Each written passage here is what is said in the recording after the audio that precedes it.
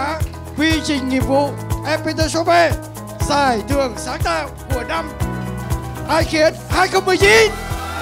Cảm xúc thì bây giờ nói chung là vẫn còn một chút hồi hộp nhưng mà cũng ờ, vô cùng là vui và muốn nói lời ờ, cảm ơn đến ờ, toàn bộ anh em trong team, toàn bộ anh em DPS cũng như là anh các ban lãnh đạo shop đã ủng hộ rất là mạnh mẽ cho Acabot trong thời gian vừa rồi. Và sắp tới thì định hướng như anh chia sẻ trong bài là muốn đưa Acabot trở thành một sản phẩm world class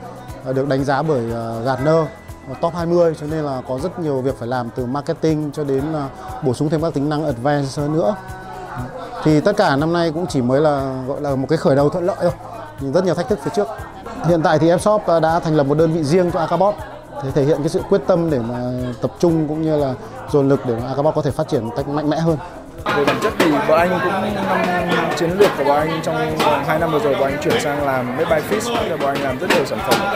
à, Made in Việt Nam và Made by Fish. Thì nên là một chương trình như này đối với bọn anh thì nó không chỉ là có ý nghĩa ở tập đoàn mà trong nội bộ Fish cũng là ờ, bọn anh có rất nhiều các giải thưởng. Alley Paris trao cho các sản phẩm.